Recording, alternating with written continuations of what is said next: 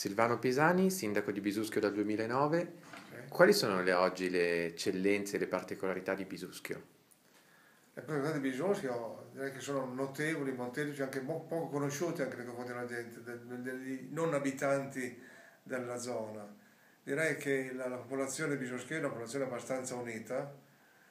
che partecipa anche alla vita, alla vita del paese, con le feste, le varie organizzazioni, le varie manifestazioni che vengono fatte. L'amministrazione comunale è partecipe e cerca di essere vicina alla popolazione con gli aiuti che ha fatto, che continua a dare anche alle persone bisognose, quindi nel sociale, e anche con dei riconoscimenti anche per quanto riguarda la, le strutture abitative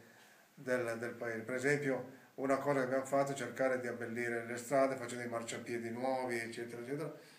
favorendo anche lo sviluppo, per esempio abbiamo messo anche nel campo feste una tettoia che potesse contenere la maggior parte degli abitanti della popolazione durante queste feste che vengono fatte in occasione di ricorrenze particolari, feste di alpini, feste sociali, feste da proloco, feste